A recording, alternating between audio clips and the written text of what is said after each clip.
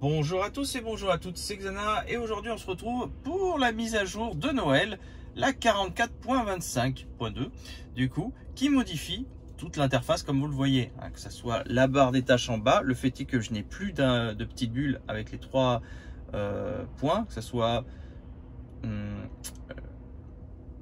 le kilométrage du véhicule, la pression des pneus et le troisième je sais plus ce que c'est, voilà, on a aussi perdu euh, en haut plein d'infos. Donc on n'a plus euh, notre profil, notre euh, Wi-Fi, Bluetooth. Vraiment on a perdu tout. Et tout se retrouve dans notre menu.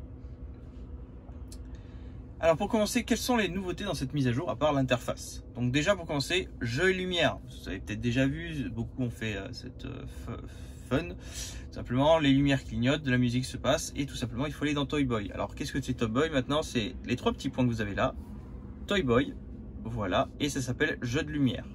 Il faut être en parking. C'est parti. Vous choisissez la puissance du son qui sort des haut-parleurs. Donc s'il fait nuit, il vaut mieux éviter de mettre du son. Donc vous mettez au minimum. Bien sûr, ça va régler en même temps le volume d'un fond de divertissement. Voilà, donc bien sûr un minimum de musique hein, ou un maximum de plaisir. Euh, ensuite, tac, on va revenir dans les mises à jour pour faire la suite.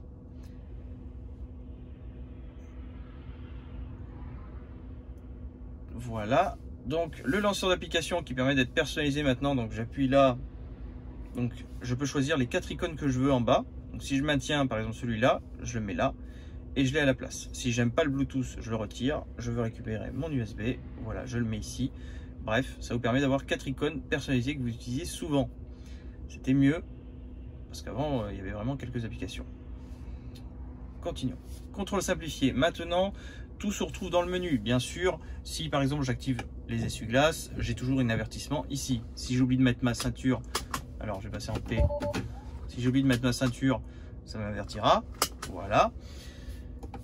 Et euh, quelques infos supplémentaires. Donc maintenant, tout se trouve dans la partie contrôle. Caméra d'angle mort, donc c'est simple, encore une fois, j'en passe en drive. Si je mets clignotant gauche, ça allume la caméra de gauche. Si je mets clignotant droit, ça allume la caméra de droite aussi simple que ça. Modification des arrêts. Maintenant, on peut modifier qui passe avant qui pour les arrêts. Donc, je vous montre ça. Tout simplement, ici, j'ai fait un itinéraire pour aller jusqu'à visiter tout ça. Je vais sur les trois petits points. Ici, j'ai trois possibilités. Ajouter un arrêt, modifier un trajet, paramètres. Modifier le trajet. Donc, par exemple, j'ai dit, ah non, j'ai mis Tech avant d'aller aux euros. Donc, ça me met les points en plus sur lesquels je veux. Donc, celui-là, par exemple, je veux qu'il aille ici avant et il va modifier mon itinéraire. Ensuite, je fais terminer et le véhicule va calculer ce tout, nouveau itinéraire en prenant en compte toutes mes adresses. Voilà, je peux aussi supprimer, hein, finalement je ne veux pas aller là-bas, ou je souhaite ajouter un nouveau arrêt. Donc je sélectionne quelque chose de mon profil. Voilà, Zoo de la Palmyre par exemple, et il va m'ajouter Zoo Palmyre dedans. Voilà, c'est un peu idiot d'avoir fait ça, mais c'est comme ça. Alors du coup, on revient toujours dans le logiciel, mise à jour. Pas très rapide. Ensuite, on a accès à la caméra directement depuis le téléphone. Ça c'est bien. En revanche, il faut avoir la connexion premium. Ça c'est moins bien. La connexion premium, euh, bon ça c'est forcément, hein, c'est pour avoir accès aux caméras ça vous permettra en fait à distance de savoir ce qui se passe autour de votre véhicule. Voilà, vous avez une alarme qui se déclenche, vous regardez l'application, vous avez personne autour du véhicule. Bon, c'était un bug. Des nouveaux jeux, donc Sonic, le mode multijoueur pour le jeu Polytopia, un Sudoku, très bien. L'amélioration par temps froid, donc maintenant il faut que, enfin maintenant quand la batterie est à moins de 20%, avant ça vous disait échec impossible de lancer la climatisation. Maintenant, vous pouvez le faire. Par contre, ça vous dira, attention, votre batterie est assez faible. En revanche, ce que je ne comprends pas, cette fonction nécessite la connexion premium. J'ai pas compris pourquoi. Bon, bref. Siège chauffant automatique. Maintenant, les sièges chauffants avant sont automatiques. C'est-à-dire que si, par exemple, vous mettez à 22 degrés, il fait 4 degrés dehors, il va les mettre à fond. Et quand il fera 22 à l'intérieur et 22 réglés, il va les mettre sur 1. Voilà, c'est histoire de vraiment adapter en fonction du climat. Maintenant, on peut Donc contrôle sécurité, effacer les clips de la dashcam, ce qui est plutôt pratique. Avant, hein. il fallait soit formater la clé, soit la mettre sur l'ordinateur et effacer les clés. Amélioration de l'interface. Donc maintenant, il y a un mode sombre. Vous pouvez maintenant choisir un mode sombre pour l'affichage. Bon, ça, euh, je vois pas trop l'intérêt puisque si vous mettez mode sombre, la journée, c'est pas génial.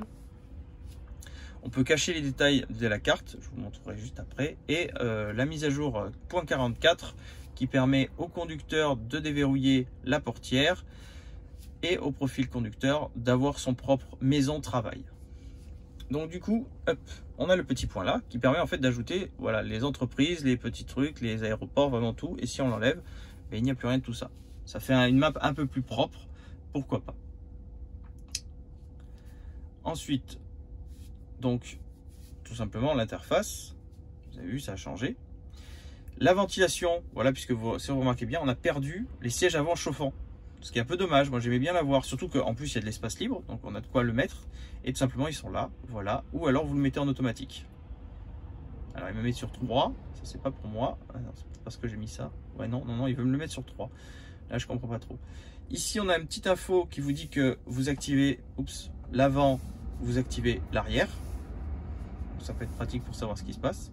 Voilà, le passager lui-même peut régler. Alors attention, malgré le fait que ça soit affiché deux fois, c'est bien euh, les mêmes chiffres qui apparaissent. Et en plus, après, on peut appuyer sur séparer si jamais, par exemple, voilà, je veux mettre 23 et 21. Voilà. Dans le menu, du coup, on retrouve euh, ce qu'on avait déjà à l'origine. Maintenant, on a enregistrement vidéo et sentinelle qui a disparu. En haut, on retrouve notre profil conducteur. Donc là, c'est moi. Voilà, tous les profils qu'on avait à l'origine les notifications pour vous dire euh, que euh, ben, vous avez eu des problèmes techniques dernièrement, voilà, appuyez sur le frein, tout ça, le Bluetooth et le LTE qui permet de passer en mode Wi-Fi. Pédalier, ça, ça change pas, ça a juste été renommé. On retrouve le menu recharge maintenant ici directement. Alors je suppose qu'on peut toujours le faire comme ça. Oui, on peut toujours le faire. Si, attends, si je fais ça, euh, contrôle. Si je fais ça, oui, voilà, ça me tombe là-dessus. Donc on peut modifier pour les véhicules adéquats la limite de charge, ouvrir le port de charge, déverrouiller la prise, bref, ce qu'on pouvait déjà faire avant. Voilà, c'est juste que le menu, maintenant, c'est un menu euh, plutôt que d'avoir une pop-up spéciale recharge. Autopilote, donc là-dedans, on retrouve maintenant la nouveauté caméra automatique d'angle mort. C'est la petite caméra qui apparaît là quand vous mettez votre clignotant. Après, on n'a pas grand chose de plus. Verrouillage, ici, on a le verrouillage euh, juste pour le conducteur. Donc, ça déverrouille que la partie conducteur. Si vraiment vous êtes quelqu'un qui, tout le temps, être seul dans le véhicule, ben, activez-le. Sinon, si vous avez toujours un passager, euh, des enfants à l'arrière, n'activez jamais ce mode parce que finalement, ben, ça n'ouvre que la porte conducteur. Voilà. Alors moi, au début, je pensais que quand je sors, effectivement, ça déverrouille que la porte conducteur. Mais en fait, non. C'est vraiment, même quand vous montez à bord, ça ouvre euh, que la porte conducteur. Bon, d'accord, pourquoi pas. Euh, l'éclairage, ça, ça change pas. Affichage, donc là, apparence mode sombre. Sauf que finalement, si vous mettez sombre en plein jour, ben, on voit tous les reflets. C'est un peu, un peu chiant quand même. Tac, tac, tac, tac. À moins qu'il y ait quelque chose d'autre que j'ai pas vu. Non, il n'y a rien d'autre. Là, maintenant, on a les compteurs. Donc là, vous avez vraiment toute la partie énergétique en une fois. Voilà mon kilométrage total depuis que j'ai le véhicule, mon trajet A, bon, pourquoi pas, depuis la dernière recharge et depuis mon trajet actuel.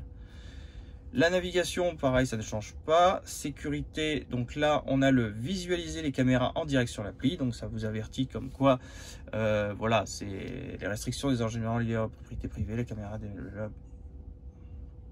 voilà. Et ici, maintenant, on peut effacer les clips de la dashcam si on veut. On appuie dessus. Voilà, tous les fichiers du site vont être définitivement effacés. Vous ne pouvez pas revenir en arrière. C'est beaucoup plus propre. Avant, il fallait faire tout le temps formater.